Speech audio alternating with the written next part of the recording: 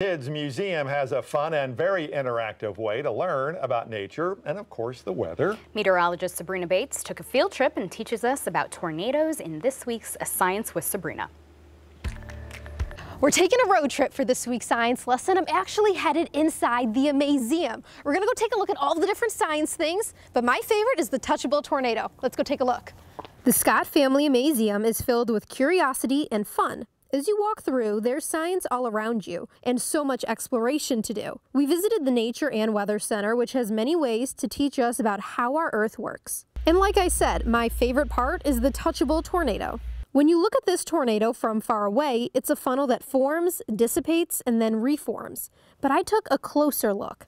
Water vapor is released from the bottom. There's a fan at the top that pulls in any air from below. The strong enough pull upward or an updraft causes the water vapor to start to form a funnel. The water vapor fills in the gap of the rotating air from the bottom to the top.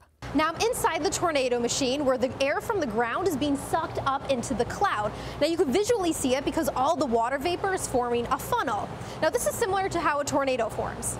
Here's a little bit more science on how a tornado develops. Strong winds at the surface and aloft in our atmosphere form a horizontal rotating column of air. A strong updraft in a thunderstorm will cause that rotating column to become vertical. This could eventually form a wall cloud, a funnel, or even a tornado if it reaches the ground. A disruption in the atmosphere can change this, and we saw a similar change with the touchable tornado when I moved my hands through it. Learning about science where you live, I'm 5 News meteorologist Sabrina Bates.